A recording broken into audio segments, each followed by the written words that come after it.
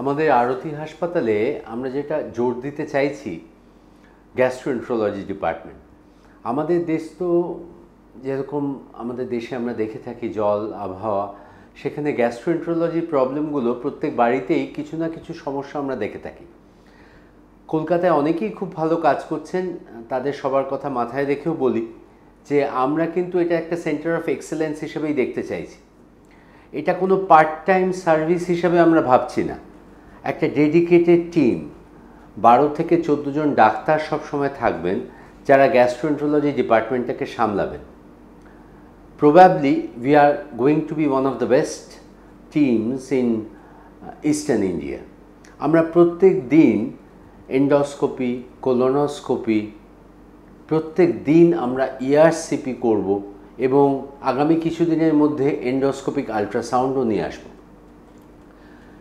শুধু তো এটা যান্ত্রিক ব্যাপার নয় যে একটা যন্ত্র তাহলেই ভালো কাজ করা হলো। একটা টিম অফ ডক্টরস যারা সকাল, দুপুর, বিকেল একটা ডেডিকেটেড সার্ভিস দেবে, একটা মতামত দেবে, একজনকে গাইড করবে, বিভিন্ন কনফিউশন দূর করতে সাহায্য করবে। আমরা জানি কলকাতায় নর্থ ইস্ট ইন্ডিয়া থেকে, ভুটান থেকে, বাংলাদেশ থেকে ইভেন বিহার, উড়িষ্যা থেকেও প্রচুর পেশেন্ট আসেন যারা চান, অন্য জায়গায়, দশ জায়গায় ওনারা দেখিয়েছেন, কিন্তু সঠিক ডায়াগনোসিস পাননি। সেই পেশেন্টদেরও তারা যাতে একটা ঠিক দিশা পায়, তারা যাতে একটা ডায়াগনোসিস পায়, ভবিষ্যতে ঠিক মতো ফলো আপ করতে পারে নিজেদের। সবসময় যে চিকিৎসাটা আমাদের করতে হবে, তারও মানে নেই।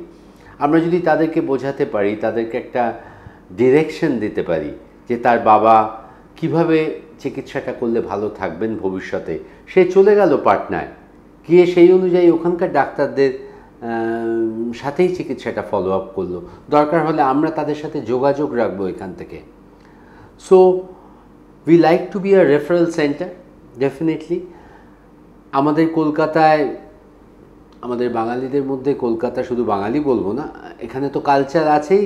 আমরা পড়াশোনা, দুশো বছরের ওপর পড়াশোনার জন্যই আমাদের নাম। এখনকার ডাক্তাররা যারা পাশ করছেন, যারা ডিএম করছেন, ফেলোশিপ করছেন আমি তো তাদের দেখে খুব খুশি।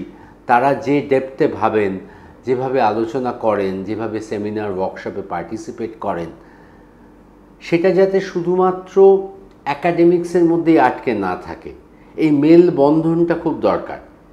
আমরা চাইছি তাদের এই এক্সপার্টাইজটা যাতে চিকিৎসার সাথে আমরা মিলিয়ে দিতে পারি। এই দুটো যে সম্পূর্ণ আলাদা জিনিস তা না, তবে অনেক সময় দেখি আমরা যে অনেক পড়াশোনা হচ্ছে, কিন্তু রুগী দেখা হচ্ছে না ঠিক মতো আবার অনেক সময় দেখি রুগী দেখছেন অনেকে অনেক কিছু, কিন্তু তার ব্যাকআপ পড়াশোনা যেটা দরকার সেটা ঠিক মতো হচ্ছে না। আরতি হাসপাতালে কিন্তু তা হবে না। আমাদের অনলাইন, অফলাইন লাইব্রেরি আছে, আমরা রেগুলার সিএমই করব, আমরা অনেক সিনিয়র কনসালটেন্ট যারা আমাদের টিচার ছিলেন, তাদের, তাদেরকে ডাকবো, তাদের শ্রদ্ধা সহকারে ডাকবো, তাদের আমন্ত্রণ জানাব, তারাও যাতে আসেন, আমাদের গাইড করেন।